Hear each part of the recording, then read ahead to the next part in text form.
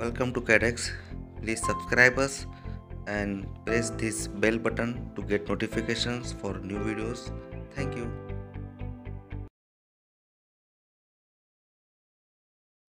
GD&T combines a set of symbols, rules and principles to ensure that everyone is on the same page regarding how a feature or part is defined.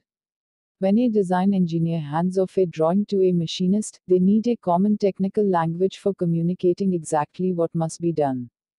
GD&T is a system to regulate and determine that communication. Why is GD&T important? GD&T is very important to the engineering world. It is critical for anyone seeking employment in the mechanical engineering field to understand it. Whether you are an automotive engineer or a CNC machinist, knowing the basics of GD&T is paramount to having success in your industry.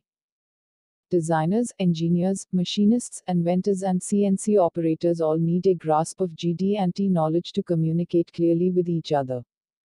Now in this lecture number 2 I will teach you the second, GD&T symbol, straightness. Straightness actually has two very different functions in GD&T, depending how it is called out. In its normal form or surface straightness, is a tolerance that controls the form of a line somewhere on the surface or the feature. Axis straightness is a tolerance that controls how much curve is allowed in the part's axis. This is usually called out with an included call to maximum material condition. Both callouts are very different from each other. See images for reference. As you can see in drawing, straightness has no bottom surface but it may apply LMC or MMC. We will discuss it later videos. Always remember, surface straightness is called out on the surface of the part. Axis straightness is called out next to the size dimension of the axis. Surface straightness. The standard form of straightness is a two-dimensional tolerance that is used to ensure that a part is uniform across a surface or feature. Straightness can apply to either a flat feature such as the surface of a block, or it can apply to the surface of a cylinder along the axial direction. It is defined as the variance of the surface within a specified line on that surface. Axis straightness. The form of straightness that controls the central axis of a part is sometimes referred to as axial straightness.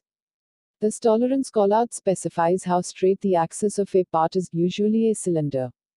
By definition, axis straightness is actually a 3D tolerance that constrains the center axis of the part preventing it from bending or twisting too far. GD&T tolerance zone. Two parallel lines on either side of a surface line where the surface must lie to D. A cylindrical boundary around the true central axis of the part where the derived midpoint axis of the part must fit into. Now how to measure straightness. First surface straightness. A part is constrained and a gauge measures along a straight line. In this example the height variance is measured to see how flat or straight the line is along the surface. Second is axis measurement. To gauge axis straightness effectively, MMC is commonly called out. To ensure that a part or feature is axially straight, a cylinder gauge is used to determine if the part fits in its total envelope at MMC. This is both a control of the diameter and of the axial straightness. The ID of the cylinder gauge represents the maximum virtual condition of the part. When we should use straightness symbol. Commonly used for sealing surfaces or surfaces that mate with another part. For example, hydraulic channel cover in a transmission would need to make steel on steel contact in order to seal off the open hydraulic channels and maintain pressure. With a straightness callout you can specify which lines on the surfaces are most critical to make sure the pressure is maintained. Axis straightness. Used mainly on pins or cylindrical surfaces which must be installed with clearance into a bore or hole. The straightness callout ensures that even in the maximum material condition, the part will still fit its mating hole or section.